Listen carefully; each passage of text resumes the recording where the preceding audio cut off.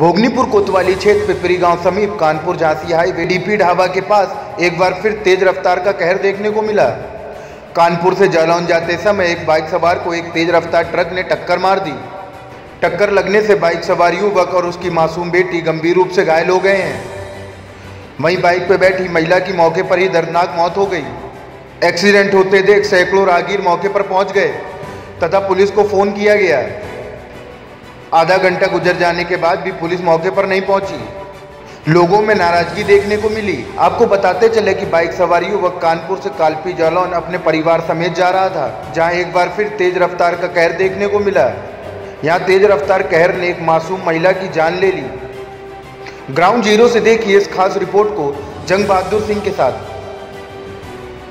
Bureau report, IPN. देख रहे हैं ग्राउंड ज़ीरो से इस वक्त की सबसे बड़ी खबर, जहाँ भोगनीपुर, कोतवाली क्षेत्र के कानपुर झांसी हाईवे पर ये भीषण हादसा, ये लगातार एक बाइक और ट्रक में भिड़ंत होने के दौरान में महिला की ये मौके पर आप हालात देख सकते हैं, किस तरीके से ये भीवक्त नज़ारा है एक दिल दहला देने वाला ये एक्सीडेंट है जहाँ पर एक बार फिर कानपुर ध्यान तेज रफ्तार के कहर देखने को मिला हुआ है। गाड़ी नहीं हम लोग ने अभी देखा है कि ऐसे टक्कर लगी धड़ाम से भाग गया हम लोग सब अच्छा, घटना हुई कितना देर कितना टाइम हो गया है? हो गया नहीं आधा बीस मिनट हो गए। करीब 20 मिनट हो गए हैं और ये देख सकते हैं ये गाड़ी सवार थे बाइक से जा रहे थे और ये ये बाइक बताई जा रही है यूपी अठहत्तर डी के बारह ज़ीरो नौ। ये बाइक सवार जो एक व्यक्ति था, अपनी बेटी साथ में, शायद एक महिला को लेकर कानपुर से कालपी की तरफ़ जा रहे थे। और ये घटना इस तरीके से हुई है ये लगातार रोड की कंडीशन देख सकते हैं। ये खास तस्वीरें आप देख रहे हैं, लेकिन पुलिस अभी तक मौके पर नहीं आई है। भीड़ आप देख सकते हैं, ये भीषण हादसा है। एक बार फिर कानपुर ध्यान तेज रफ्तार कहर देखने को मिल रहा है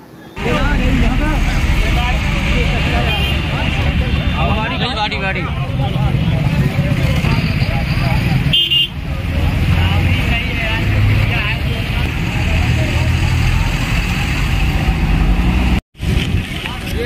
अरे यार एक आध आदमी इधर आ जाओ इंसान ही है वो भी।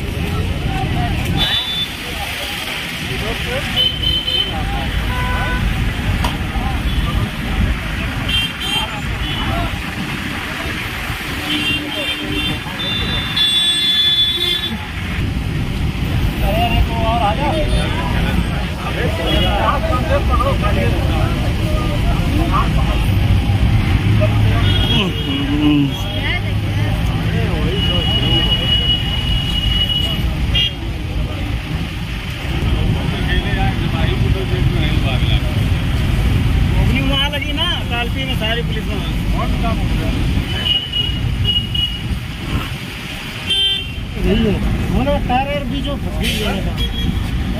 सोने का होएगा